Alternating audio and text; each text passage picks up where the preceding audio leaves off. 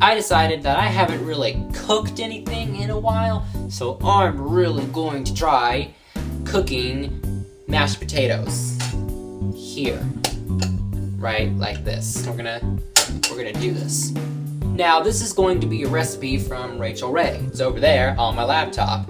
And there's bacon involved, there's chives involved, and other ingredients that I don't really have. I got the bacon, and I've got the potatoes, I've got milk, salt, things like that. So we're gonna get started, and we're gonna start with boiling some potatoes. But before we get started with boiling potatoes, we got to, well, you can see right here, first we've got to wash the potatoes, and then we've got to peel the potatoes. Now, this probably would have been a really smart idea to go upstairs to my neighbors and borrow, what is it called, a potato peeler. That probably would have been a really smart idea, but I didn't think about it until now.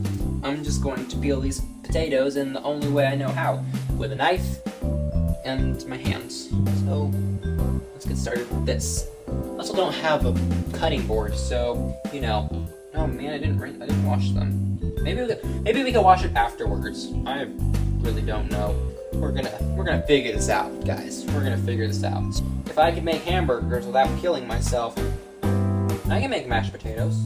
Who's cutting potatoes? I'm cutting potatoes, making potatoes. I've also never made mashed potatoes before.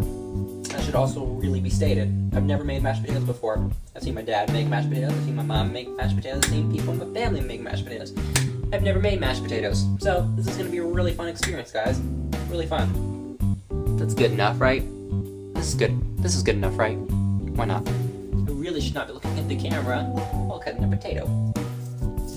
Oh, I almost cut myself. Alright, potato number two. Kinda ready. It kinda works, so we're gonna do it with what we've got.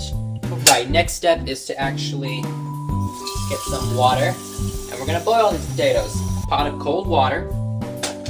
The recipe says to put on medium heat, put the potatoes in a medium saucepan, and cover with cold water. Oh, that's totally fine. Oh, maybe I should dump some of this water, because if it's going to be boiling... Alright, well they're going to be sort of covered in water a little bit, because if I put any more water, it's going to start to boil over, and I don't want that to happen. Alright, and it says put the potatoes, I'm reading right here, put the potatoes in a medium saucepan and cover with cold water. Bring the water to a boil and season with salt. So I'm just gonna let this boil and then I'm gonna put salt and then it'll be done in 15 minutes. So I'll meet you guys when these potatoes are done.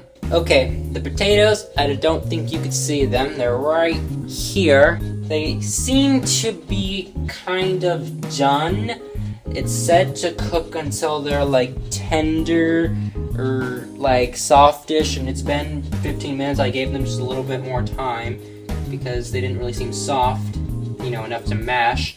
Um, but now they do, so I'm gonna turn this off and I'm gonna carefully, carefully, oh my goodness, carefully drain this. So here I go, and if the smoke alarm goes off because all the steam that's rising, sorry in advance. So, mm, I don't think you can see me over here, but it's like I'm getting like a, like a, whatever those are called, like a facial steam face thing or whatever. With all this steam that's rising up into my face. In the face. Alright, almost got all the water out. Alright, the potatoes are here. I got, like I said, of them. Oh boy, oh boy. Okay, um, now I don't have a potato masher, but I've got a whisk. So we're going to take these mash this potato thing, and we're going to, I guess, mash these potatoes into something. Maybe I can cut them up a little bit more. Ooh, look at that. Look at how I can cut through this. Ooh, I'm cutting through these like butter, which you're gonna need. You're gonna need butter and milk and cheese. The recipe also technically did call for bacon. I don't know if I really feel like making bacon right now. Um, I don't know, I don't even know if I brought it up at the beginning of this cooking thing, this video, but uh, part of me really doesn't feel like making bacon, I'm just gonna go for the making of the mashed potato. I think I'm gonna have to try boiling these just a bit more. They don't seem ready. So I'm gonna let these boil for just a little bit more. I put them back in there. That's water sizzling, don't mind that. I'm gonna let these boil for a little bit more and then I'll try this again at the mashing. Alright, you can totally tell that this took a lot longer than it should have because now the sun is starting to come in and it's setting and it literally, I don't even know how much longer it took. Let's just say that I was able to finish one writing a whole entire script for my class. Like basically like writing like four more pages. But now I believe it's done because they are feeling very soft, so I can hopefully start to mash them. So let's do this draining process again. So let's bring it over here and let's drain this puppy. Looks like we've actually got something to work with, and I'm actually going to use my tongs to bring them transfer over here. Oh, yes. This is seriously what I'm talking about. I know it's really, really hard to see, but they're soft and they're about to get mashed. Oh, look at that. It's mashing. It's beautiful. It's gorgeous. I love it. Right. Now, I did call my, my mom and, like, she says that my dad puts in milk, so I guess, alright, we'll put it in milk. I think the recipe also calls for buttermilk. I don't know what that is. Is it butter? Is it milk? I may never know. I got milk right here. I've got butter. So, buttermilk? I think it's just like a really creamy milk, honestly. I'm gonna take this cheese and I'm going to tear here like it's telling me to. Oh, tear here. Oh, that's dumb. Okay. How happy am I? I'm so, so happy.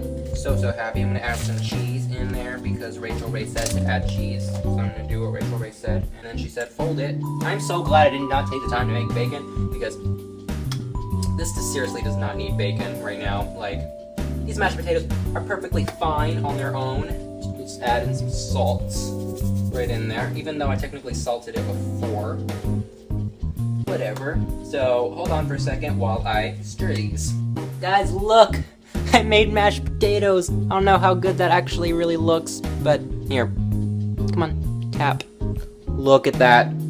Mashed potatoes. I actually really want to take a bite out of this. Oh, this is so hot. This is so hot, guys. It's hot. Because I made this, guys. I made this. I made mashed potatoes. Okay, they're not like the best mashed potatoes, but if I added in like a lot more salt, which I'm like about to do right now, like I'm so happy. Who's happy? I'm happy because I'm so so happy. It took a lot, took a while, but oh my god, I'm so happy. I am going to now actually put this in the fridge because I have to go to the library to go do homework. And then I will come back and I will eat these mashed potatoes up like it's nobody's business and I will see you guys hopefully next Monday with a new video, and maybe some more cooking stuff. I'm just so happy that I made this. Wow. Guys, slowly, I'm cooking. I will see you guys next time. Bye.